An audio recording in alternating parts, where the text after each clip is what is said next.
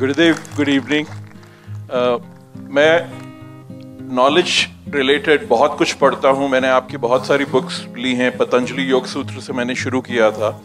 और अब इस समय मुझे बातें बहुत सारी समझ में आ गई हैं। वन बॉटम लाइन इज़ कि संसार की किसी चीज़ से मोह नहीं रखना है। Use it and forget about it लेकिन एज फार एज साधना गोज मैं मेरी प्रैक्टिस से मैं एक घंटा बैठ सकता हूँ लेकिन मेरा मन नहीं लगता है कि मैं डेली डेली डेली करूँ इसको तो what do you suggest I should do आप मैं कुछ सजेशन दो क्या गारंटी है वो उसमें मन लग जाए?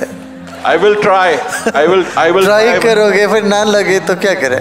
I will try something else talk to you again talk to you again देखो ये सहज है जब एक पेड़ में फल है, फूल है, मन उसी में लग जाता उसको।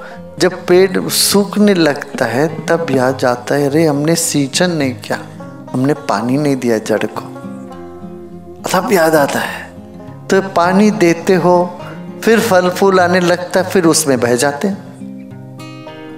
फिर भूल जाते तब तो नहीं लगता है कि जब इतना मस्ती है, अरे, क्या बैठ के ध्यान क्या करना? ऐसा लगता है।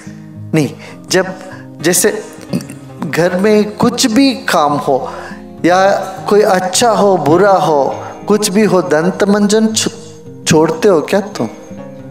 नहीं, घर में कोई श्राद्ध है, मान लो यार कोई किसी की किसी की मौत होगी वहाँ जाना है तुम्हें, तब भी दंत मंजन करके जाते हो कि नहीं जाते कभी घर में कोई शादी हो, तब भी दंत मंजन करते हो?